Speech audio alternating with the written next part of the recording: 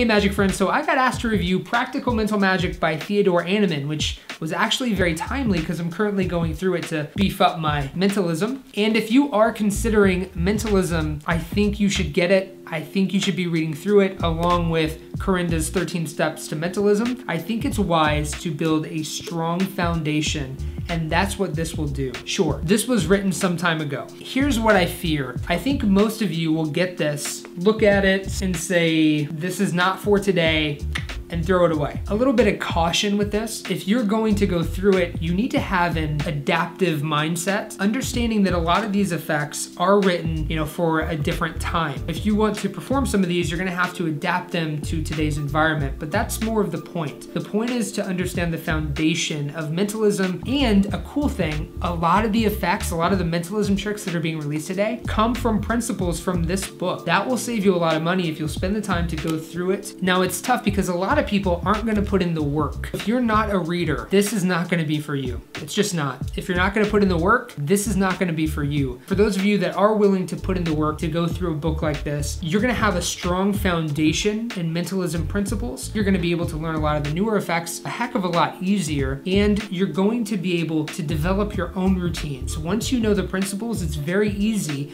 to create your own style, your own tricks with them, because you can use a variety of principles and create your own And I think that's just a better way to do it. So what I'm doing is going through this book, finding effects that sort of resonate with me that I can adapt to today and making it my own. But there's nothing wrong with learning the fundamentals and this will do that for you. I don't think you're gonna regret it by getting it, but you're gonna have to put in the work. If you're wanting to be a mentalist, if you wanna be unique, get it, put in the work, make it your own, and then be the best that you can be. I think you're gonna enjoy it. I think you're gonna like it. I'll go ahead and put the link in the description to where you can get it. It's around $10. I think it's a wise investment if you're considering mentalism, but again, if you're not a reader, it's just not gonna be for you. For those of you that are gonna put in the work, I think you're gonna have a strong foundation. It's gonna be worth your time. So if any of you would like a trick book DVD uh, reviewed, go ahead and let me know below. Other than that, I'll see you in the next video. Peace.